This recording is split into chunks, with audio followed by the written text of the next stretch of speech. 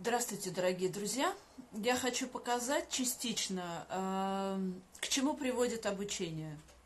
То есть, если вы приходите обучаться, э, что вы можете делать при этом? Э, после окончания обучения вы можете делать сами изделия, вы можете делать лекала, чтобы человек сам делал изделие. То есть у вас дальше диапазон ваших возможностей, он шире, чем вы изначально думаете. То есть это э, не обязательно, что вы должны делать изделие. Это может быть, э, кто-то хочет делать изделие, но не знает, как сделать лекала. Но еще раз напомню, что у нас нет выкроек. В кожгалантерее выкроек нет, есть лекала. Так вот, можно делать лекала. Вот, например, у меня заказ, я просто на собственном примере покажу. Вот у меня был заказ, я шерносидельной кожей не работаю, но парень очень просил, собственно говоря, я, конечно, пошла навстречу, потому что сумка недолгое время занимает, вместе с тем, в общем-то, как-то понравился он мне. ну, то есть, человек очень хочет дочке подарок сделать, а сам лекала не может сделать. Конечно, мы разговариваем об обучении, но вместе с тем у него у дочки скоро день рождения, он хотел бы успеть, э, прежде чем сам научиться. Ну вот я показываю просто пример. Вот, например, он выслал мне фотографию, он далеко находится в Казахстане.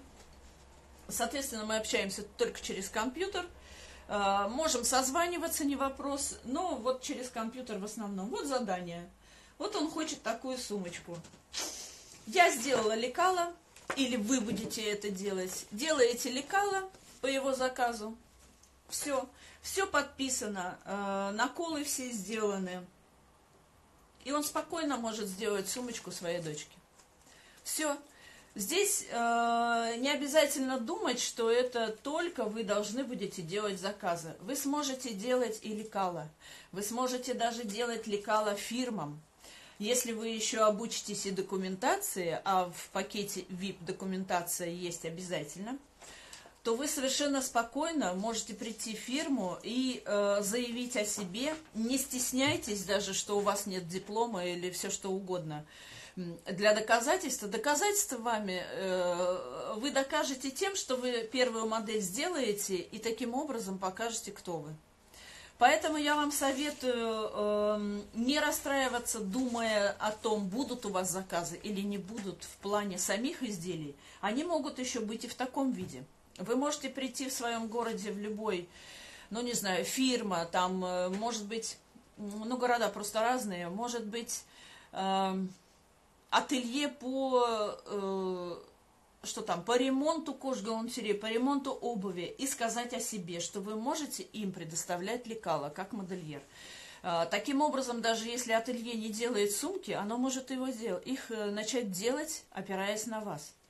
А, но это надо понимать, что вы заявляете о себе, и при этом вас будут держать как постоянного модельера. Ну, то есть вы можете в штат не входить, и даже лучше не входить. Они вас ценить будут больше. Расскажу секреты не надо устраиваться на работу. Если вам все вкусно рассказывают, конечно, вы можете устроиться на работу, если вас все устроит. А параллельно просто шить для себя, еще э, подрабатывая таким образом. Поэтому вот пока у меня есть пример, сейчас я отправляю, вот у меня адрес, вот конверт, я... Э, документы у меня тоже на это изделие есть, потому что он в дальнейшем будет это делать, и не только дочки, а вообще это будут его заказы. Документы я отправляю по электронной почте, либо ВКонтакте, как угодно. Э, у меня э, обычно я объясняю, так как это шерноседельная кожа, я не очень на нее настроена была, поэтому я ему устно объясняю, потому что у меня смесь э, технологии на шерную седельную кожу и на галантерейную кожу. Поэтому он может что-то не понять, поэтому здесь технология или техпроцесс на видео снят. Я ему снимаю и отправляю, чтобы он меня точно понял. И, конечно, документация, та, что в компьютере, отправляется через электронную почту. Вот так, в двух словах я вам объяснила, что вы можете делать помимо изготовления изделий. Всего доброго, до свидания.